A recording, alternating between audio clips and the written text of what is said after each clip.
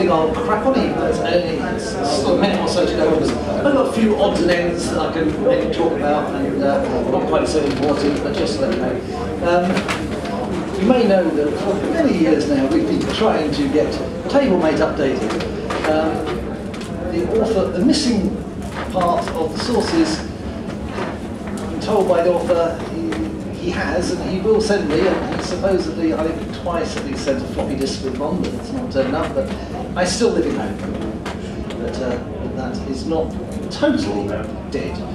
Hopefully dead. Um, also, uh, PhotoDesk has somewhat, development has somewhat sort of uh, stalled a bit, but um, no, there has been a bit more to work on that, and we are um, doing some there to, especially if to get it to work properly on the later hardware, but uh, and with problems of loading in some JPEGs. That's something that we're trying to look into and get sorted. Um, also, a bit of ancient history, really. Um, that. Uh, pretty well everyone here is old enough to remember um, cassette data recorders and data leads. In actual fact, um, they are BBC to 3 mini jacks. That was the first product that as um, CJE Micros that we ever made back in 1981. And we've actually started production of them again because people wanted to buy them for that old system. So we're doing a variety of 7 to 7 and 7 to mini jacks and whatever else. And then we had the problem of, well, they don't make cassette recorders anymore, not these small ones. Uh, we eventually found that you can get some cassette players um, that actually will work as a, a data player. Well, we've, we, we tried a number of these, and most of them just will not be recognised. The quality is, I don't know, it's not good enough but we're now actually able, um, able to, if you just wanting to get the data off, it won't record. There's no motor control, but that normally, for purposes of loading stuff, isn't isn't an issue. But we're we're, we're doing those. Um, then also for the for the, retro um, market, um, somewhere here. Yes, here we are. Um, basically this box will take um, RGB, so from your BBC micro. Um, it will also take um, TV outputs from uh, A3000, um, you know, even, even a Risc PC uh, TV type modes, and convert an output um, on the SVGA to your, you know, your to your widescreen, whatever it is, you know, 1920 by 1080 um, uh, uh, LCD. So if you're wanting to you watch, connect up your old computer, you can do that. We also have an HDMI version of it. Um, unfortunately, for some reason, well, it's fine on the BBC, but uh, on the uh, uh, Archimedes, the A3000 and that, it works, except the display is there and then jumps and then jumps and then jumps. We've tried all sorts of things to reduce the sync level or whatever, or there, but nothing's got that working unfortunately. But, but we're, they're actually selling, we're selling these often all around the world. We just shipped um, one of these to Australia and one of these to um, the States. Um, so uh, they're, they're quite a useful thing for people who need to access old computers. Um, but something much more up to date, but monitor related, um, is we've now found a reasonably priced, i.e. under £100, because we did have some, but they were like £170. But this is a four-way USB HDMI with, so, so, it's, uh, so it's got HDMI, USB and audio, KVM, £99, including, including the VAT. Um, been on the lookout for those for some for last couple of years, but um, they are silly money, um, some of the alternatives. Also on the, uh, carrying on with the um, screen theme. I know a number of you have already got one of these. But, uh, but uh, this is the official Raspberry Pi 7-inch 800 by 480 touchscreen LCD. The, uh, mounts on the back there. That's a you know, Model B connected up. Got one power lead in, um, and then, well, under Raspbian, you can actually use it. Touchscreen. And unfortunately, of course, under Riscos at the moment, there is no proper, there's no um, touch support for it, but I know a number of people are itching to uh, try and rectify that. And some of them programs. so that may well happen hopefully in only a few months, I would hope. But we've got uh, we've got the displays. We've actually got um, some of the uh, the stand type. Um, yeah, this is a sort of stand. It doesn't actually enclose the Pi. This version. We do also have the official, well, the Multicomp just for those people that don't, they don't realise, basically Multicomp is the name that CPC and Farnell use for products that they market, uh, you know, their in-house name. Um, took me a little while to work that out. Eventually got that. Now, this one is quite a lot more expensive, the case, but the thing is, it does enclose the Pi totally, which um, makes life a little bit uh, better. Um, also, there has been some discussion about some people saying, oh, it's upside down. I need to tell it to rotate it. Um, basically, uh, as I can gather, what it was is the display has a viewing angle of 60 degrees, six, specified as 60, 60, 60, 70, and they got it the wrong way round, so they're having to flip it. But I believe that they've changed it either, um, I don't know whether it's the or the Raspbian, so there is an issue where I think it was upside down for both, but now it's only for Raspbian, and the Riscos needs to rotate in the config txt file. But um, that's that. Um, then, where else? Um, right. Um, I did actually say that we'll have a prototype here, and I did mention red. Um,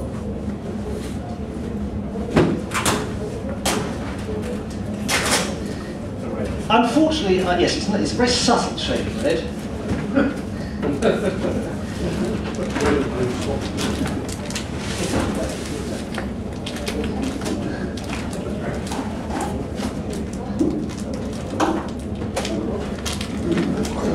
now, this was going to have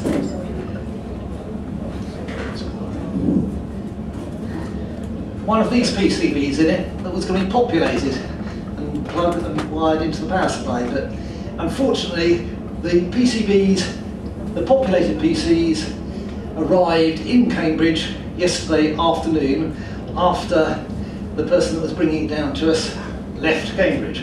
And you know, they would have needed at least another day to you know, be fitted and tested and all that. But basically, this is um, a titanium PC board, PCB from uh, Elesar uh, Limited. Basically, Elesar Limited were developing um, a sort of an ARM-based development board for Linux, but the person um, in the company just happens to be a Riscos user and basically therefore designed it also with Riscos in mind. say it's well spoken, it's on Customer's house. uh, yeah, yeah, well I... it's in the public domain. I did tell him that, it was in the public domain, but he did, yes, he wanted to hide his light under a bushel, I told him, anyway. But yes, anyway, so, so anyway, he's gone and um, he's, uh, he's developed this, and um, it uses the AM5728, um, processor, which is a slight, is a slight, um, the later, well, effectively the replacement for the OMAP 5432 chip, but it uses the same uh, A15 processor at the same speed, 1500 megahertz. Um, there are a number of significant extras on here. Unfortunately, most users are not going to be able to use those, well, not for some years possibly, um, if ever. Basically, um, I don't, I'm not sure it's going to be any faster i- as such. A, it's the same processor, the same speed memory, um, uh, bus, etc. It does have um, four SATA ports, which users could use um, straight away. But once you um, once you've got your hard drive connected, an optical drive it doesn't particularly need to be by SATA. It's uh, the speed, any speed improvements not going to be well. There may be no speed improvements or no, not noticeable. Um, and not, not many people have multiple hard drives, but you could. That's one thing that you will be able to do on day one with this. The other extras that it does offer are, um, it, it has gigabit Ethernet, in actual fact it's 2 gigabit Ethernet. Well, the thing is, at the moment, the gigabit Ethernet on the Iyonix, the um, ARMX6 and the uh, our IGEP based system, they are not they are not running anywhere near as fast as the hardware allows because of limitations in RISCOS. RISCOS doesn't uh, do that side very well. It needs a significant rewrite. it's not just a tweak to get it to be able to utilise the extra speed. So the fact that the hardware on here could go even faster is fairly immaterial, unfortunately. Um, I don't know, even once RISCOS has been improved, whether or not you'll, you'll uh, would find this to be quicker, but it might be. Having two Ethernet ports can be advantageous for some people, but it's fairly low-level networking type stuff that people want two ports, and to be honest, RISCOS really isn't the thing probably you would want to do that on. And at the moment, yes, the RISCOS can't uh, fully utilise the, uh, you can't have both active at the same time. I believe you can select between the two both, they both effectively work, but you can't use, use them at the same time. Um, it does have two serial ports, which, which do work under RISCOS, so that is an advantage. The in some ways having a nice clean board that, yes, right, our board that we have to have a little piggyback, well, a board that plugs in onto the, um, onto the uh, some of the GPO pins to give you real-time um, power control um, on that, um, uh, are on the motherboard, which is nice, and um, because the way it's designed, it has uh, also a nice um, uh, back plate, and the mounting of it is simpler. You don't have to get these special metal work made, but um, it is it's larger than mini ITX, so it basically has to go into a standard size ATX case. And it's just the fact that we had one of these uh, cut some of these some standard ATX case, and I thought it would be fairly memorable um, if we put one in there. We're not, we, we will offer these, but we don't have a large quantity of these cases. So after that, we're probably going to be using um, this case where we're, we're currently evaluating the cases because we, we do hope to be uh, basically a retail partner with Elesar selling box ready to go units. Elesar will um, sell you just the motherboard itself, but we will are looking to do that. So basically, we chose this. This is one. It's got it's got one uh, optical port, um, you know, display, um, and uh, it was a reasonable size. You can't. There are not many cases you can buy nowadays that are actually smaller than this. Um, and a lot of ones that are smaller don't have room for an optical bay, which um, really means it's a lot of people think would lose out generally what's happening in our external uh, on that. So yes, we, we are planning to do an offering of the titanium board um, in a bundled unit. It is going to be considerably more expensive than than uh, our previous Riscos um, um, also offering the IGEP-based system. But um, uh, it's something to watch out for. But on day one, it's not going to give the user much more, oh, I can do this, I couldn't on our system. But uh, hopefully in the future it's going to be help the, help you know the development of things like that to come. It is it's uh, um, it's two gigabyte and unlike uh, and that's the maximum that actually the chip allows. So there's that, the RISC-OS anyway can only address two gigabytes at home, but I know Jeffrey Lee is working on some things that will allow full use of the extra memory that uh, our IGEP-based system does have. Um, so, so, so that's titanium. In actual fact, um, uh, you may have, if you've read any of the leaflets I've just already given out, you may have spotted that in actual fact, our IGEP-based system we have decided to call the Rapido, but we're actually calling it the Rapido IG. Um, the Rapido IG PC, because otherwise the plural would be Rapido IGs. And fancy, that wasn't what I said, was silly.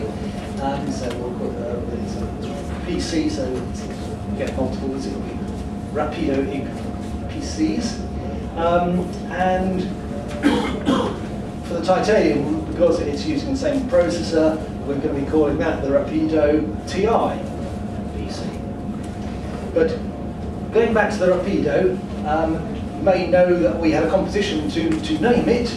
Um, in actual fact, I think the entry that won um, came in before I officially, I just mentioned to the person, oh, um, got this new system, thinking of a name for it, any ideas? And back came um, the idea of a Rapido, and that was actually from Adrian Lees. So uh, I, I, I, believe he was, hoping to make it today, um, so I will go and tell him good news uh, later. But uh, yes, no, we had, we had over 100 entries for the competition uh, names from scores of people, and uh, thank you very much. It was a difficult decision. But yes, the um, the IGEP V4, V5 um, system, so we now call it the, the, the Rapido um, IG, it um, uses the, the fastest um, ARM processor that uh, RISC-OS runs on, um, and you know is the fastest system out there. Um,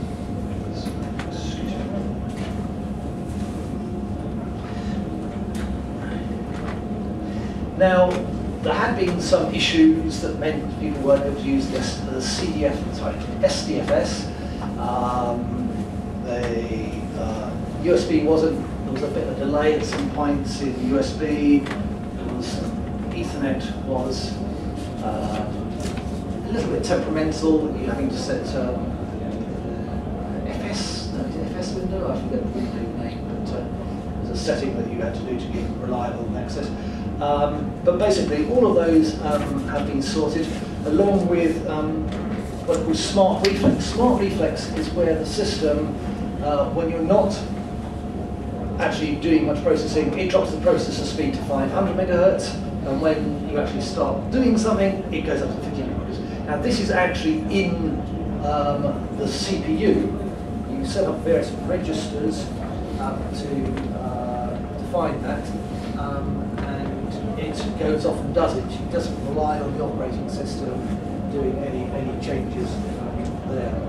But uh, that has all now been done recently, literally in the last 10 days. Um, and so we've got updates for any uh, uh, existing uh, people who bought under the early adopter scheme. And then SATA was the one other thing that driver that was missing. but um, I'm very pleased to say that uh, if you come to our stand, you will be able to see driver working. Now I print it up here, but just to show you the fact that dragging a large file from there to there does it quickly, well, not particularly um, photogenic uh, um, thing to do. But we, we can demonstrate on the show and a lot more on, on the stand. We can do that a lot more uh, and talk about the other things there on there.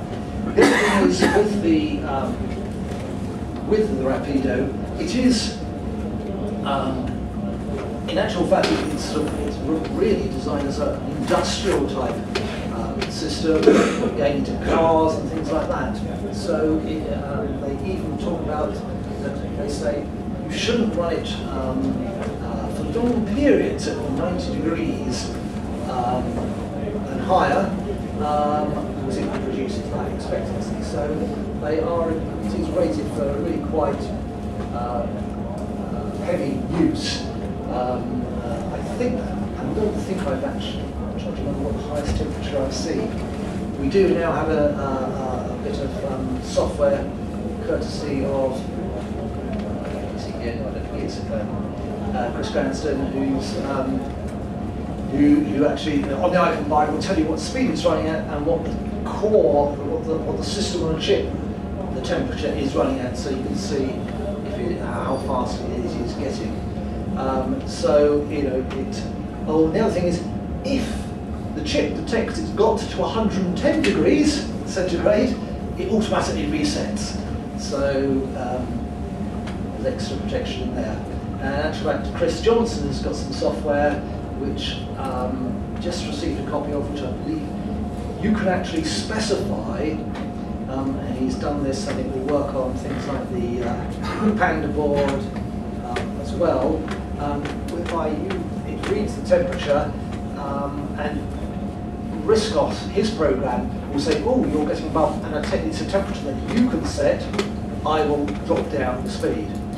Um, and uh, got a setting, it's got to drop down by five degrees like by default, but you can, that's user configurable before it will allow you to go back up to the faster speed um, on that. So the um, so the Rapido, we it currently comes available in multiple cases as our other mini ITX cases. So it's very small, compact, um, and we've got them uh, on the stand for sale today. Um, they currently um, the SSD drives will be connected up via USB because the, um, the beta version of the SATA driver we only uh, only got it on Wednesday, um, and it's it's not need to be more testing before we um, it becomes a user uh, usable um, and ordinary user uh, system. I, I hope to, within, certainly within within a month, hopefully less than that, be able to issue updates with uh, sort of uh, a user beta version of it. But um, it, it's proving very good. There is one small aspect technically that um, there's an errata in the datasheet for the chip, and it does say that when used with, it's a SATA 2 interface, which is 3 gigabits per second, as opposed to uh, SATA 3, which is 6, um, the, there is an errata which says that it may not negotiate the speed correctly in some SATA 3 devices. Um, we, um, uh, the, the, the developer he said he thought it had, it had failed like one in 20 times. Um, and all you basically do, if it doesn't fail, you just shut down, restart, and it, it comes back up. I did some tests on Thursday and Friday, and I reset our system 60 times, and it actually worked every single time. Then on two of the 60 occasions, the USB seemed to have uh, gone to sleep, and keyboard and mouse. Well, yeah, actually the display was blank the keyboard and mouse hadn't come on. Lights. I unplugged the keyboard and mouse, plugged them back in, and lo and behold, oh, the display came up. So, uh, but uh, we, I have actually, do occasionally see, uh, even on the Raspberry Pi and the Panda, the occasional time where the mouse or the keyboard isn't initialized on power. Maybe it's the particular keyboard I'm using, but I think I have heard of other reports on that occasionally. but uh, yeah, just unplug, replug, and then everything goes, goes along. So, um, that's uh, the, the Rapido. Then moving on to laptop. You may recall I did talk about our plans for trying to do a laptop now. Lots of hurdles, unfortunately, there, and the, all of them are not insurmountable, but rather different. So that's sort of Still hoping that we may able to do something, but um, uh, uh, on that, but uh, there's nothing uh, uh, imminent on that. Now, um, I can say a bit more about that in a moment, um, laptops. But um, one thing that yeah. Um, so now the thing is, so we now have really quite a wide range of RISCOS computers that we can supply of new current RISCOS systems. So it starts off with the Raspberry Ro, so the Pi base, so, well, so we obviously show just a standard Raspberry Pi as a starter kit, simple case, power supply, keyboard, mouse, which is, I can't remember actually, but not a lot of money. Um, £69, something like that. Um, but for the case um, systems, um, we've got the Raspberry Ro that's starting at 224. And then we've got the Baby Panda, because the Panda board, of course, is still a, it's a very nice little system. Um, and you know that's now starting at 280 pounds for it in a metal case, um, small, uh, five inch by five inch, maybe six inch, six inch, something like that. Um, and then we've got the lapdog based sort of um, uh, portables that we, we're still offering um, with a Pi or with a Panda sitting outside. Um, and then there's the Panda Ro, so yeah, we can do it in the Mini ITX case, nice end user system, plug-in keyboard, mouse, uh, SSD drive or portable drive or just a large SD card in there, connect up to your monitor.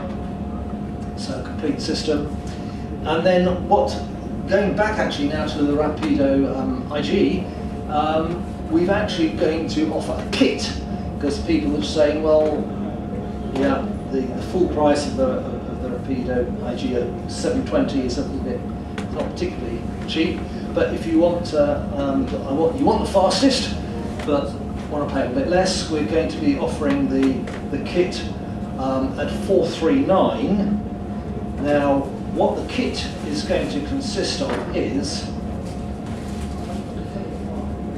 we thought we, we thought to help you a little bit. Um, and so, so this is the motherboard. Now, unfortunately, no one makes a cheap, just sort of like case for just the motherboard, not even you know the Beagleboard type cases, you know the acrylic ones that uh, people may have seen that you have in. But we realised that it will physically fit into one of these, which is uh, courtesy of uh, CPC, who many of you know. Um, and uh, this, uh, we're, we're, going to provide a little template so people will know where the where the ports are. So if you want to cut it out yourself, the thing is to do it and look really good and professional for something we could sell. Be just so time consuming. Um, I, even then, I'm not sure that we could do something that would look professional without special kit and one thing or the other. So, but at least you know, relatively easily, you could put one of these in the in this box. We've got um, we've got special sticky feet that allow it to be so it will be held in place against one side, and you could use it. So basically, we will be offering um, the the board, case, um, the uh, micro SD card with the operating system on it, and um, a power supply. We will also be offering, for more money, and this was the um, uh, one with an mSATA drive, because you basically underneath here, that space there, a little SSD drive will fit. And now that we've got the software support for it, that will fit in there. But because the M, the SATA driver was quite an expensive thing to do. The or first, the, the cheapest kit won't include um, the SATA driver. It'll be a different version of the ROM. The more expensive version with the 32 gigabyte mSATA at 579 will include, you know, obviously include the, the software that allows you to to uh, access that. So. Um, that, and then, so going up in price, so that's 579, and then we've got the Rapido IGPC itself at 720. It is, yes, more expensive than, than other offerings, but it is the fastest and offers, um, we feel, the, the, best options available. Um, and then, in actual fact, um, I did mention that we were trying to have a, a prototype here, and we haven't got that prototype here. I do have another prototype.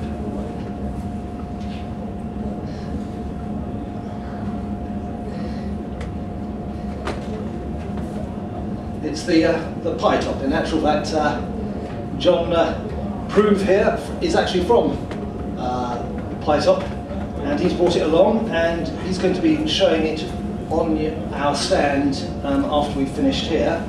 And I expect a lot of you have heard of the pi-top. It was launched about a year ago.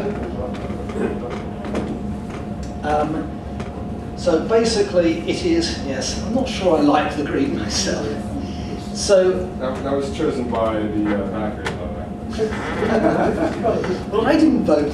I backed it. I backed it on day They're also, they're also available in uh, matte gray. Yeah, that's that's the side. But basically, what they've done is they've um, they've put a Raspberry Pi 2 hidden inside here, and so um, this will. Press the button on All right. Okay. There's a power button. Press it. the. Remember, hold it. Second. Yeah. There we go. Okay. So this is this is one of the prototypes. The actual this production they had hoped would arrive in this country literally the last day, but it's expected now to be next week because yes, we, we, we are getting um, uh, uh, we, we're getting one of the from the first batch, and we will be offering it as a bundle with RISC OS. And so, if you're interested in talking to us um, about that, we, we, we hope to make that available um, to end users in December. Uh, production up until the, uh, then is all already committed, but um, our slot um, we should be able to get in, get supplies in December of it. Now, at the uh, at the moment, it will it is it is running um, Raspbian, um, and will uh, it's big flat. Up the sorry.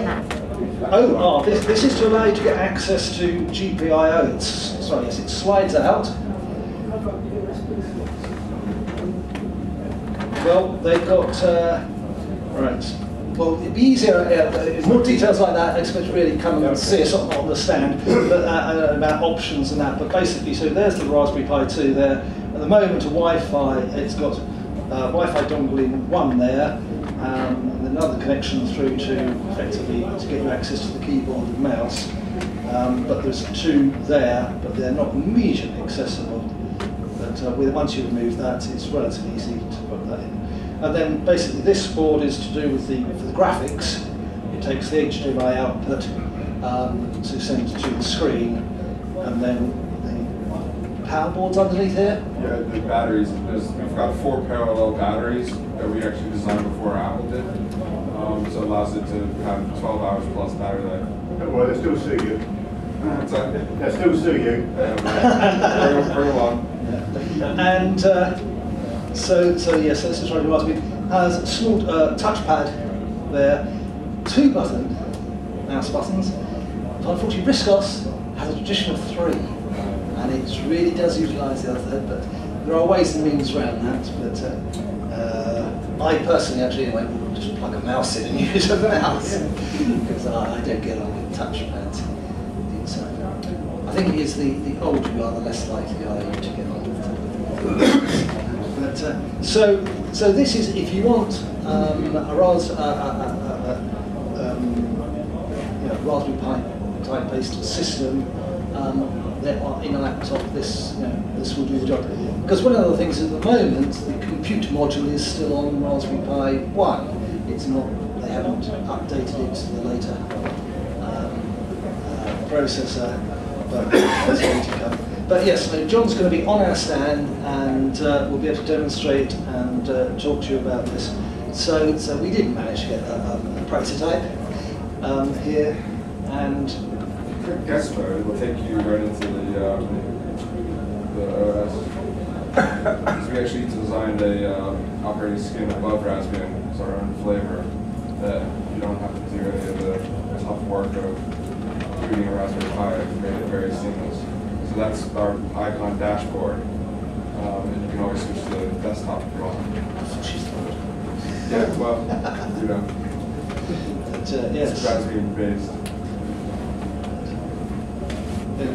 So lots of things there to um, possibilities. Um, but yes, they deliberately left space so people can possibly put other electronics in there that you might connect up to the, up in uh, some way or another. Interesting.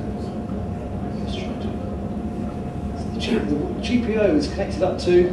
Yeah, it is. So the, the GPIO, all the 40 pins are used at the moment, but um, we are going to launch a breadboard, uh, uh, breadboard that allows you to access the GPIO, so we'll have um, all full access to them. But that's. But yes, it's actually, uh, they've managed to fit it in really quite a, a small space by, by having a custom case, which is really quite neat. It's um, uh, uh, a resolution that, unfortunately, I haven't got information to hand, but uh, I'm sure. It's HD, LCD, I I don't have the resolution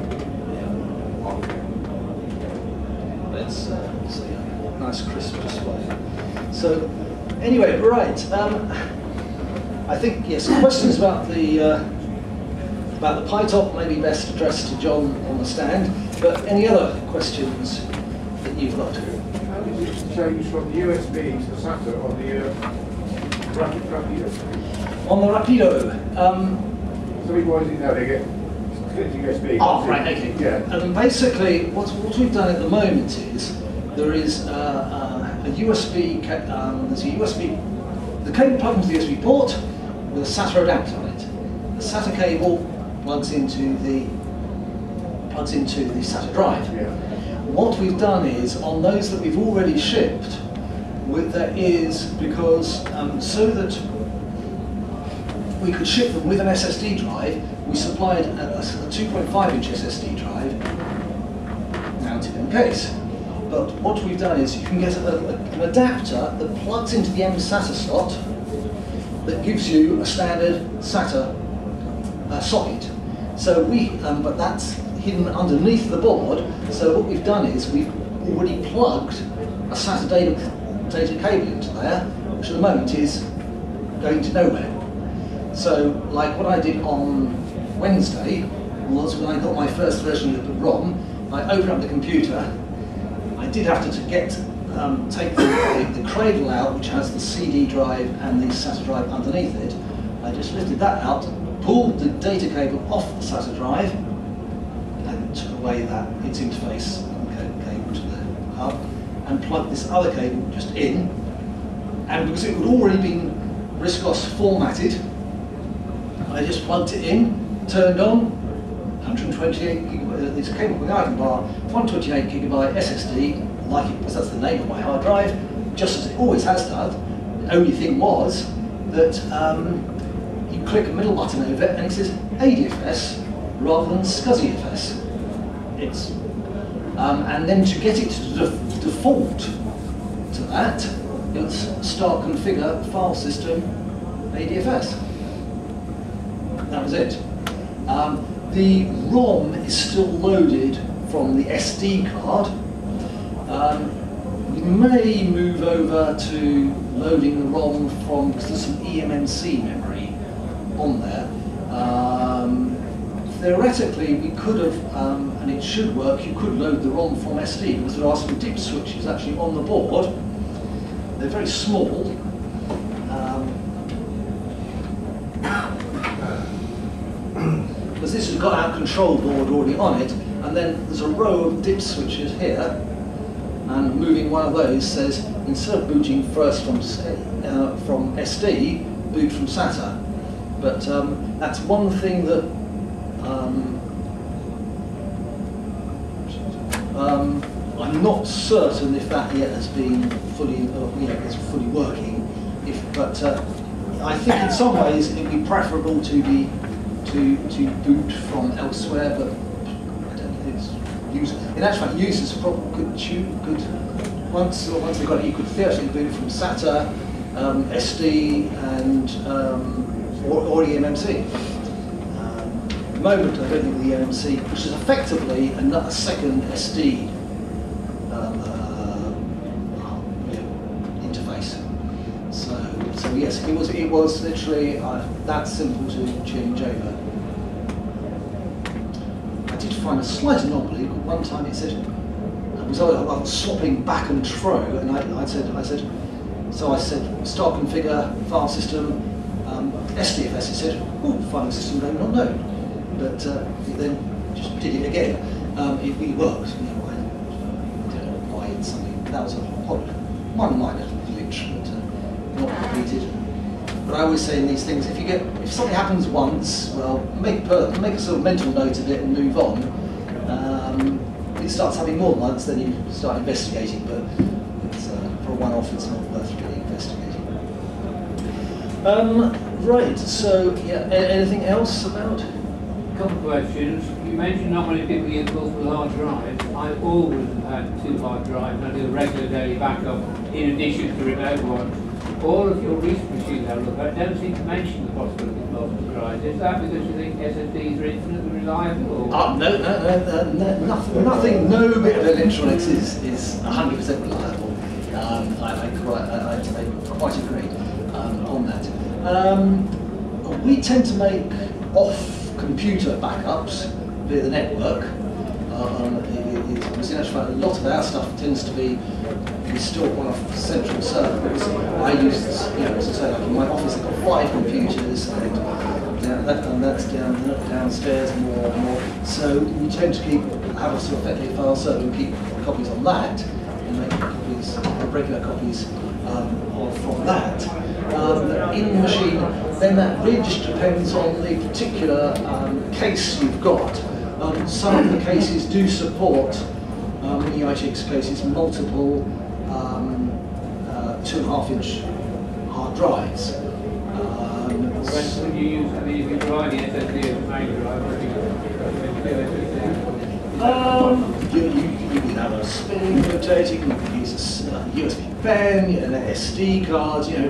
Um, obviously, um, a, a US, a, um, something like an SSD would be a good one. Now, if you're going to something like that, obviously that's one advantage with, with the titanium, because you can have two SATA things and you really get the, the speed there. Um, on you know, the, uh, the other systems, you're talking about here, one, now you get uh, on the, uh, the Rapido, your main drive yes is SATA, and then your what, uh, any other storage is going to be a slower access storage.